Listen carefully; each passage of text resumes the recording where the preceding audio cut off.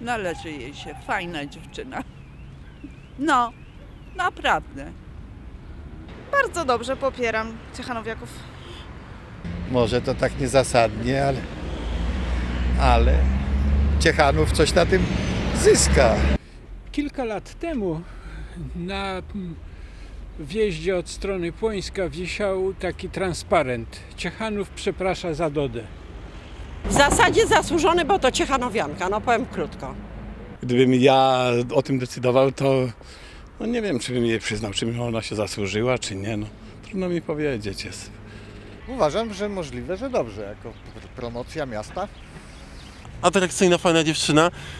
Ale żebym e, coś tutaj takiego specjalnego widział w Ciechanowie, żeby, żeby e, coś dla Ciechanowa zrobiła, no to tylko to, że się wyróżnia po prostu e, z takiego małego miasta wybiła się, tak?